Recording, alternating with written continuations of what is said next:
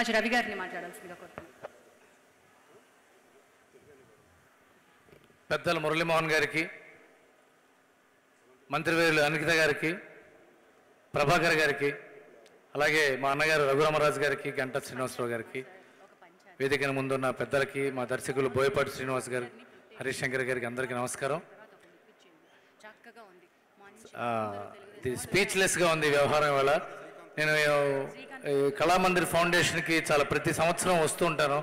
మా మిత్రులు కళామందిర్ కళ్యాణ్ గారు అలాగే వారి బావగారు ప్రసాద్ గారి నేతృత్వంలో మొదటిసారి కళామందిర్ షోరూమ్ అమీర్పేటలో ఓపెన్ అయినప్పుడు వాళ్ళ కష్టం వాళ్ళ దీక్ష దక్షత చూస్తూ అక్కడి నుంచి వస్తూ ఉంటాను.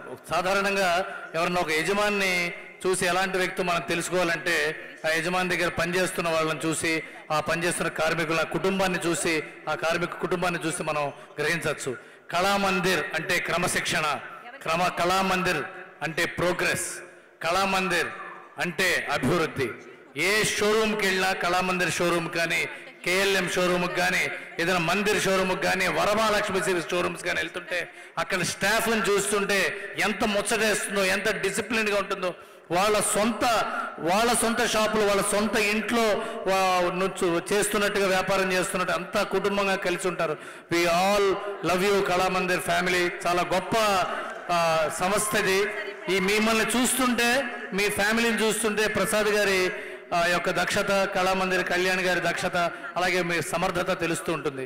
ఇవాళ ఈ ఫౌండేషన్ ఇలాంటి గొప్ప గొప్ప కార్యక్రమాలు డిఫరెంట్ ఏబుల్డ్ పీపుల్కి కానీ ఇలాంటి ఆటిజం ఉన్న వాళ్ళకి నిజం చెప్పాలంటే మనసు జూకుమంటుంటుంది. మా ఇంట్లో మా బావగారికి కూడా ఇద్దరు మంది ఇద్దరు ఆటిజం పిల్లలు ఉన్నారు.